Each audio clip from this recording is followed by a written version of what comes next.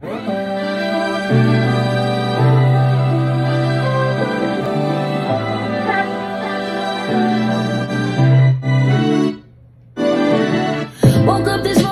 somebody judging me. No surprise they're judging me. Don't know who I'm supposed to be. I'm just acting up. I'm precious fucking never saying sorry. Found out in the end that I can only do it for me. You call it sensitive and I call it superpower. You just like empathy cause you think it gives you power. All I know is only God I know is only God I know is only God can judge me. I don't hide my heart,